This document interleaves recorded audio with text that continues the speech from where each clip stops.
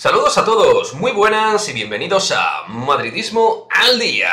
Vamos a hablar de Kosovare Aslani de Marta Cardona, que han eh, subido a sus redes sociales, más concretamente a sus distintas cuentas de Instagram, imágenes entrenando en Valdebebas. Eso sí, con también aparatosos eh, vendajes dentro de lo que son sus rodillas, pero al menos las vemos entrenar y eso ya significa que cada día queda un poquito menos para poderlas ver con el equipo. Dos bajas que han sido muy sensibles, en el caso de Aslani, siete semanas después de su lesión, ha vuelto a entrenar. Y ya, de hecho, se ha estado hablando en las distintas redes sociales también de que Aslani le podía quedar muy poquito para jugar con el Real Madrid. Parece que en el caso de Marta Cardona vamos a tener que esperar algo más. Pero bueno, obviamente con la línea comunicativa que hay respecto al Real Madrid femenino, es complicado poder hacer un pronóstico más o menos certero de la vuelta de ambas futbolistas. Lo que sí que está claro es que